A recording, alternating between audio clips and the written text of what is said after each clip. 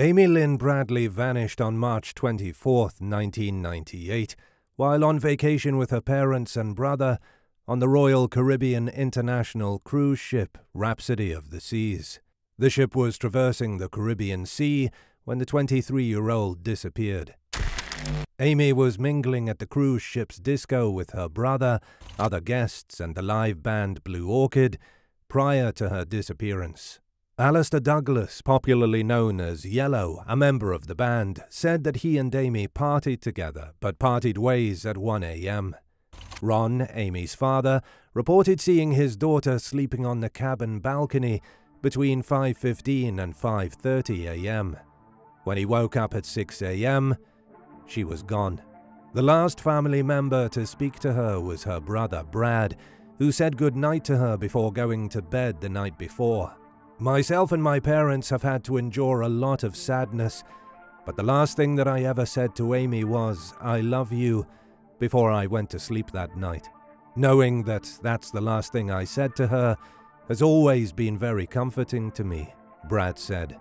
What do Maura Murray, Madeleine McCann, Jimmy Hoffa, D.B. Cooper, and Amy Lynn Bradley have in common? They all mysteriously vanished without a trace. Their disappearances have also garnered numerous theories on what happened to them. The disappearance of Amy Lynn Bradley is no different. In today's video, we're going to look at the prevailing theories and look at the case using Occam's razor principle. Encyclopedia Britannica's explanation of Occam's razor principle is of two competing theories, the simpler explanation of an entity is to be preferred. First, let us take a look at some of the theories that have been put forward in this mysterious case, and some extremely bizarre events that happened after Bradley's disappearance. The 2005 website photograph. Since her disappearance in 1998, Amy Lynn Bradley has reportedly been seen many times. Two images of a woman were included in an email sent to the Bradley family website in 2005 that was most upsetting for the family. A member of an organization that tries to trace possible victims on sites that showcase sex workers spotted these images. The photographs feature a scantily clad woman who closely resembles Amy and seems distressed and despondent. The public saw one of these photographs when the Bradley family appeared on the Dr. Phil program. She is being held as a sex worker. In January 1999, a Navy petty officer claimed to have seen Amy in a hotel brothel on the island of Curacao. Amy, recognizing him as an American, allegedly disclosed her name, said she was being kept against her will, and asked for assistance. Unfortunately, the officer kept the information to himself out of concern of the implications his solicitation of a sex worker would bring. After his retirement, he contacted the Bradleys via their website. A band member may have been involved in Amy's abduction.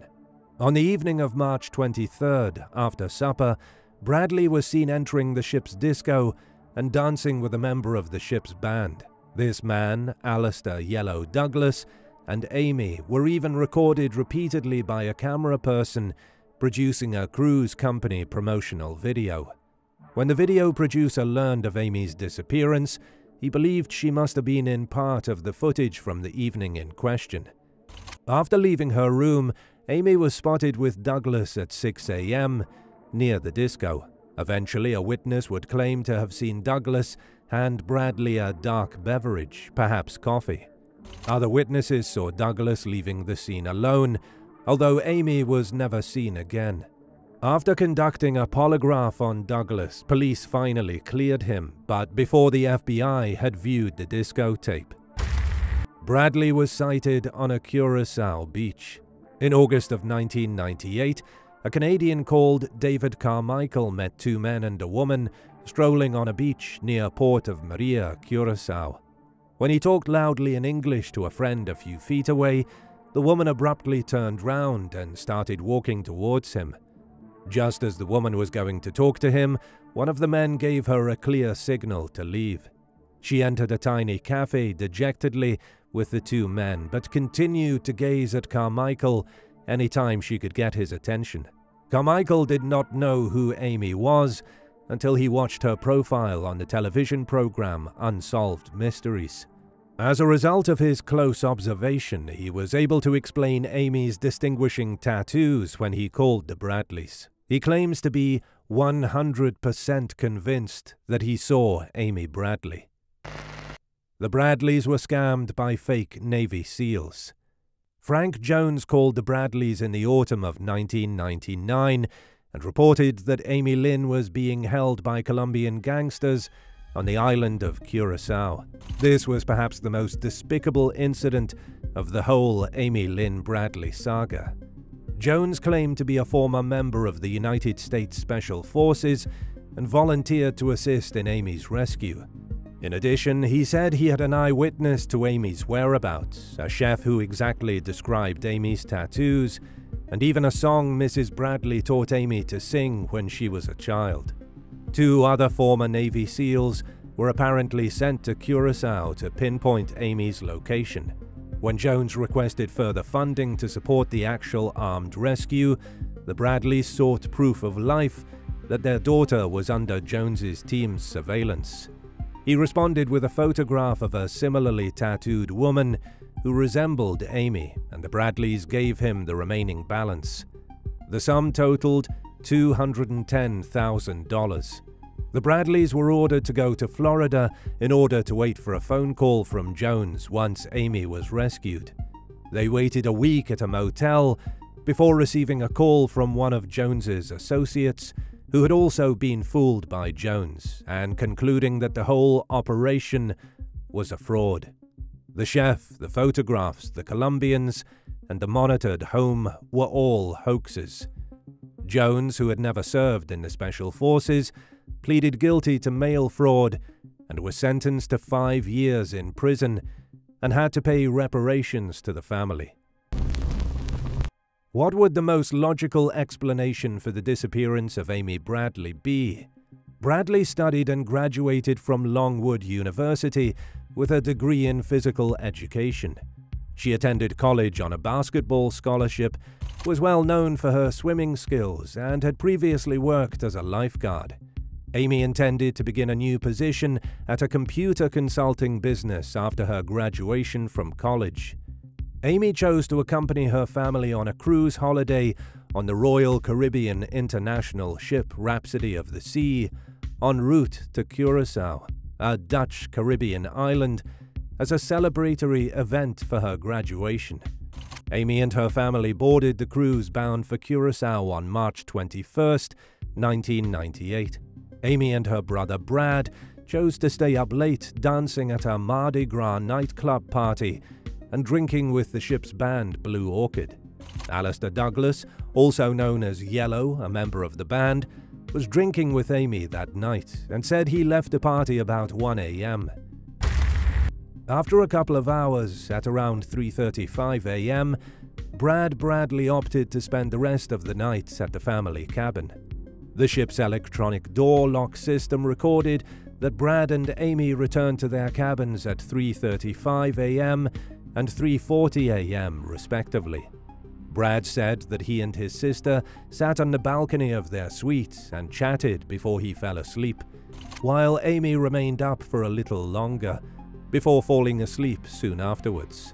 Ron, Amy's father, awoke between 5.15 and 5.30 am on March 24th to check on his children and saw Amy still asleep on the lounge chair on the balcony of their cabin. However, when he awoke at 6 a.m., she was gone, along with her cigarettes and lighter. Later, he stated, I left to try and go up and find her. When I couldn't find her, I didn't really know what to think, because it was very much unlike Amy to leave and not tell us where she was going. After searching the general area of the cruise ship, he woke the rest of the family and informed them that Amy was missing at around 6:30 a.m. According to reports, the crew disregarded the family's request to keep the ship away from the dock to prevent an abductor from bringing her ashore. The crew staff did not issue a pager for the missing woman until the ship had moored in Curacao and most of the passengers had already disembarked. The authorities first believed that Amy had either fallen overboard or committed suicide. Amy was a good swimmer, her corpse was never discovered in the water, and there was no indication of foul play, so this theory was quickly discarded. Using Occam's razor principle, the most likely and logical explanation for Bradley's disappearance is that she fell overboard and drowned. Her last known location was on the balcony of her cabin, and after a night of heavy drinking, losing her balance and falling overboard is a plausible explanation. In 2010, a jawbone washed up in Aruba, which provides more evidence for this scenario. Initially, it was believed to be the jawbone of another missing person, Natalee Holloway. However, after it was found not to be Holloway's, police suspended further testing despite the fact that nine other Caribbean tourists were reported missing. No DNA analysis was performed on the bone. The authorities have established that the bone is human and possibly of Caucasian descent. Could this evidence be the missing piece of the puzzle?